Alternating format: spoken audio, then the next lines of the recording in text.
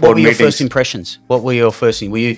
How, how, did you approach that first meeting, and what were you looking for? What did you want to know or be um, impressed about? see t- see to be honest any anybody want to start a business first ask them like what exactly you, the franchisee is doing my my thing is came a long way from india want to start a business in australia if you want to start everything on your own maybe it's not possible you need some support I saw that here in PACK & SEND. So the first day we came here, I was talking to the Luke and he was explaining what the tools they got, team they got. I was like, oh, this may be the one we are looking for. So you are not alone.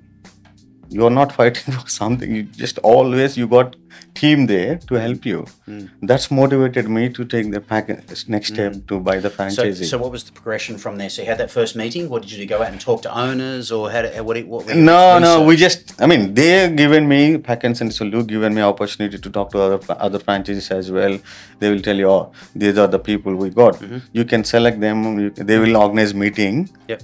with the uh, other franchisees, and you mm-hmm. can go and meet them and talk to them.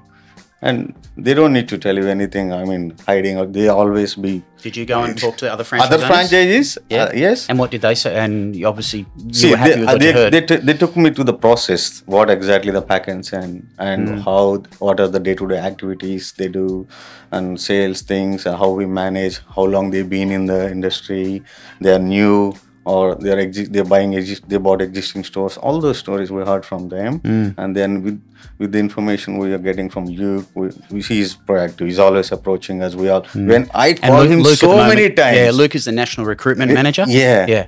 So you called him a lot, did you? Did you hassle him a lot? See, I, ah, that's see, I that's my one thing. If you don't ask, you don't get it. yeah, yeah.